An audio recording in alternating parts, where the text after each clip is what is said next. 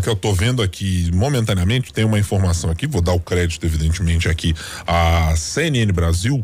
Ah, que diz que apesar de ter tido a entrada de Maduro liberada, mudar de ideia. Ah, mudou? Mudar de ideia e agora encaminhar a presidente da Assembleia Nacional, o presidente, Jorge Rodrigues, que é irmão da vice-presidente da Venezuela, Delcy Rodrigues. Essa informação aqui tá, tá dada pela CNN, segundo eles, ah, por ministros do novo governo. É, e, e esse aí, Raquel, você tocou num ponto que é e será novamente central nos embates ideológicos do governo Lula. A dificuldade da esquerda brasileira uh, e quadros importantes do PT de conseguirem ter a capacidade de vocalizar contrariedade com ditaduras e o caso Nicolás Maduro, ainda que queira se florear, dizer, não, mas existem votações aqui a colar.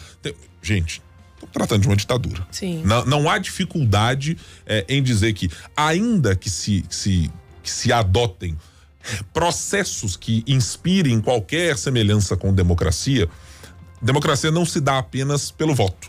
Né? Falamos aqui um pouco mais cedo, democracia se dá também por alternância de poder. Sim. Democracia também se dá uh, por aceitação de resultados contrários àquilo que se propõe. Uh, democracia se dá por não ter autocracia, é, como acontece no caso da Venezuela. O cumprimento é, então, de leis. Enfim, cumprimento de legislação e, e, um monte de outras situações.